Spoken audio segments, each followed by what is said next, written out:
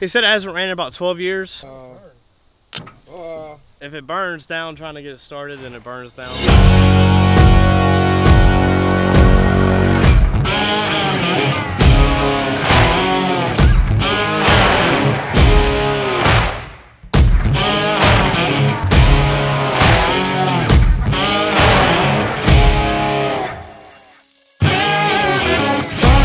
Last week, I get a phone call from a, a buddy of mine who said, Hey man, I found a bulldozer in the woods doing some work here.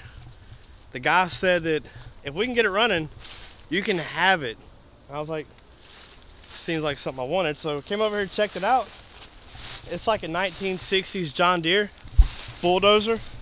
It's actually like a skid, what is it, a front end loader? It's a uh, it's a tracked loader. He said if we can get it running, we can have it. So we're out here today.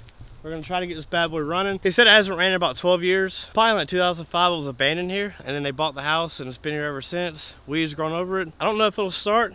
There's water in the motor. So we'll see what we can do with it today. Hope you guys enjoy it. Uh, so now what we're doing is we're getting ready to hook up this battery. But the proper thing to do is always put the red on the ground and then the black as the positive because apparently that's just how you wire things back in the 60s. So, uh, so obviously we're getting ready to hook up the battery. We want to make sure which one goes where. Uh, they have a spray painted red one, black, and then they have a red one, which you would typically be positive is uh, grounded out to the hydraulic drive here. And uh, so this is going to be our positive and this is going to be our negative.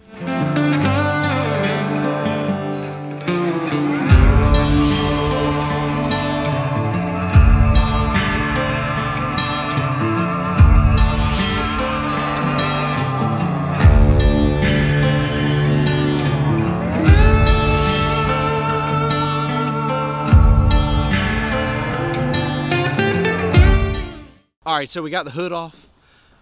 We see the fuel tank. We can see the breather. So we can either go one of two ways. We can spray some starter fluid down in the breather, or we can try to put some diesel in here. Um, you know, if we don't want to waste diesel, we can try some starter fluid first. But the downside of that is there is no key. So we're gonna have to do some uh, some hot wiring on this thing, try to give it turn over. Perfect, let's get the diesel. I'll get the diesel. You're up on that.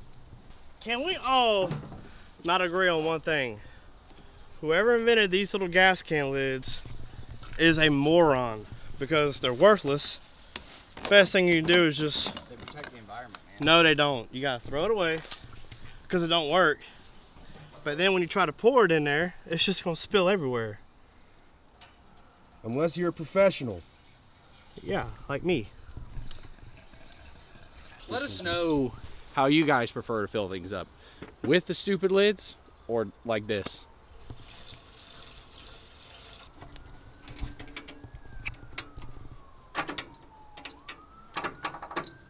What? It's just you got it. No, it's uh. So, one other thing that we're worried about. I don't think we showed this on camera. Graham pulled a dipstick earlier. The dipstick wasn't even seated all the way on there. Yeah, out.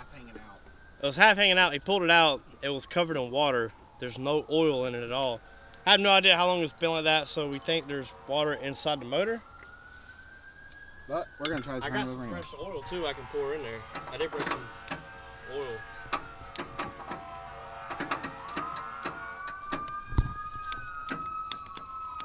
So what I'm doing now, Graham is trying to hotwire it. He got it to kind of click, click, click. The motor's locked up.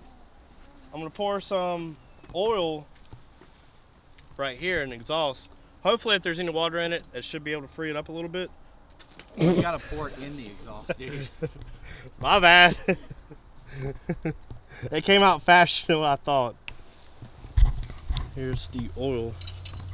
This is what we were talking about. Like, see all the water on that? Wow. That's a lot of water. I'm not gonna lie. Let me hold on. Let me get a little bit more. pour some oil down that. Look, Can you get some down in there? yeah, I can get it in there. Like it's full. That's. It must have a lot of water in there. That's alright, pour a little oil in it. In case. Alright, so we're putting some oil in here now. Come on, baby. Go in there.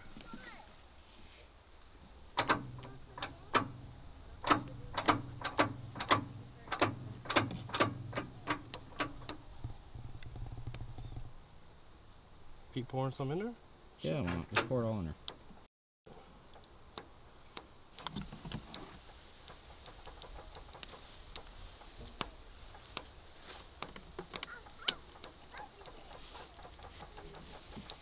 Here, go tap the tap the starter with that while I try to start it.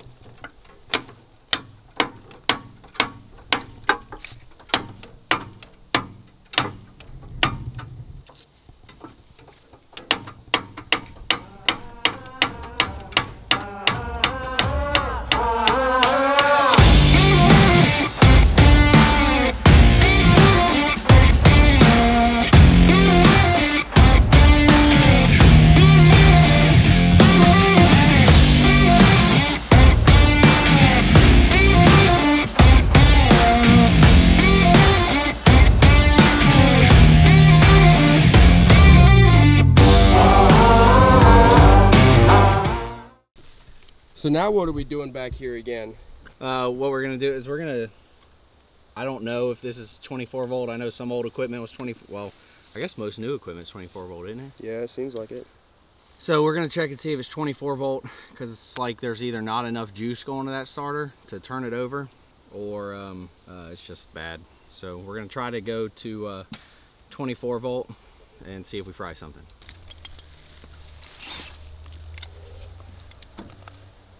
We're gonna see.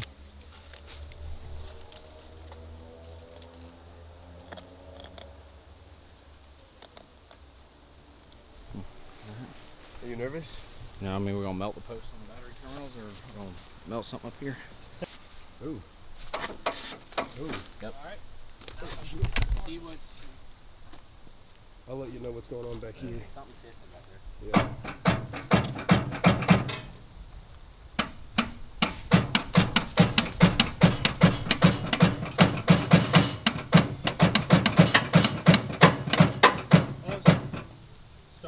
Smoking. Uh, we're smoking back here too. Yeah. Yeah. Is that good or bad? I mean it's not good. But it ain't bad. It's doing something they ain't done in 10 or 12 years.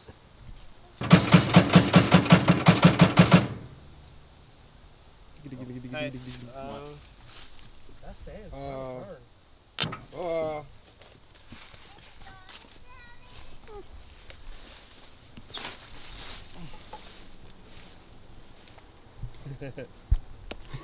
RJ. Uh, I didn't know what to say. We burned the woods down. Sorry, guys. See it's melting the terminal. So that means it's a 12 volt or 24 volt? Well, Or is it bad terminals? no, it's probably not 24 volt.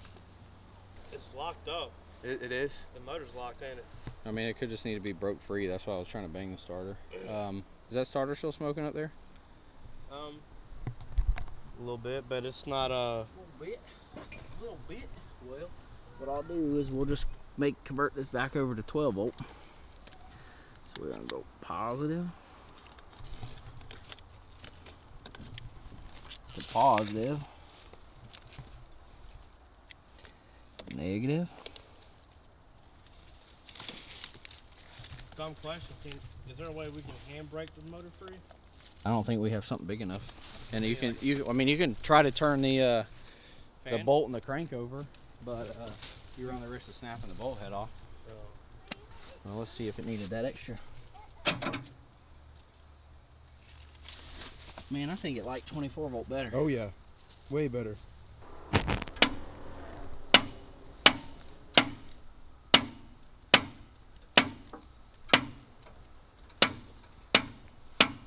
I think this one might be a defeat. It's not doing anything. Graham fried it by hooking it up to 24 volts. Man, it did something though. It did. Well, uh, I think this thing was in worse shape than.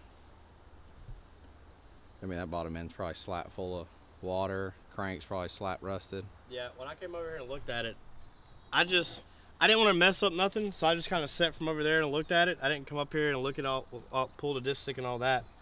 I just said, yeah, we'll attempt to get it started. We'll see what happens. So- But I had no idea it was full of water. Been sitting like that forever. Mm-hmm. It's been sitting like that since 1976. been like 12 years. It's been sitting like that for the last 12 years. there you go.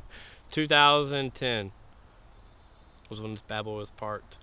What I always say, everything ran when it was parked.